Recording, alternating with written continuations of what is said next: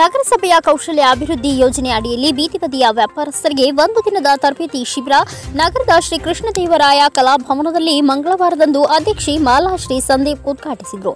ನಗರ police ಠಾಣೆಯ ಸಂಚಾರಿ PSI ಸುವಾರ್ಥ ನ್ಯಾಯವಾದಿ ನಾಗರಾಜ್ ಗುತ್ತೇದಾರ್ ಸಂಪನ್ಮೂಲ ವ್ಯಕ್ತಿ ಗೀತಾಂಜಲಿ ತರಬೇತಿ ನೀಡಿದರು. ಕಾರ್ಯಕ್ರಮದ ಸಂಯೋಜಕಿ ಕಾಂತಮ್ಮ ಮೃತ್ಯುಂಜಯ ಸೇರಿದಂತೆ ರೇಷ್ಮಾ ಭಾಗವಹಿಸಿದರು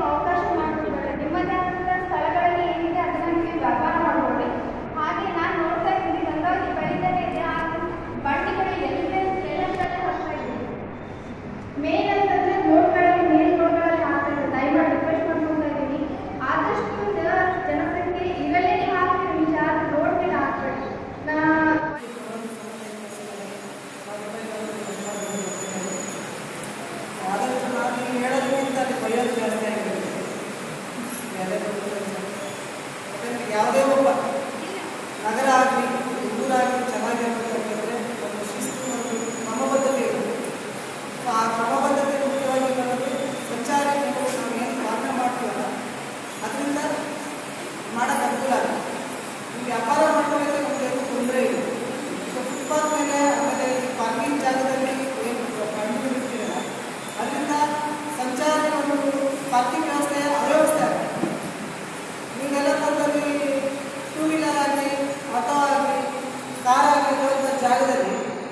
ಕಟ್ಕೊಂಡು ಇಟ್ಕೊಂಡು ವ್ಯಾಪಾರ ಮಾಡೋದ್ರಿಂದ ಯಾರೇನು ಬರ್ತಾರೆ ನೌಕರಿ ಮಾಡೋದಾಗಲಿ ಇದಕ್ಕೆ ಯಾರು ಶಾಪಿಂಗ್ ಮಾರ್ಕೆಟಿಗೆ ಬರೋರಾಗಲಿ ಗಾಡಿನ ಬಿಟ್ಟು ಹೋಗೋದಕ್ಕೆ ತೊಂದರೆ ನಾನು ಹೇಳೋದಿಷ್ಟೇ ನಿಮ್ಗೆ ಜಾಸ್ತಿ ನಾನು ಮಾತಾಡೋದಿಲ್ಲ.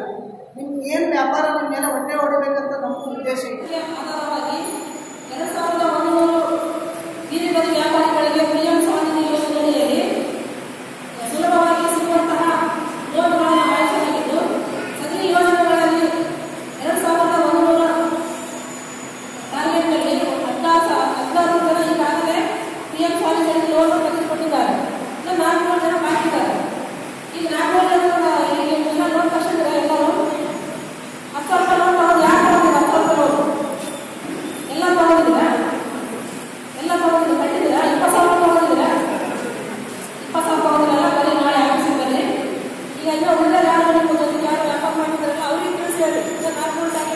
Thank you.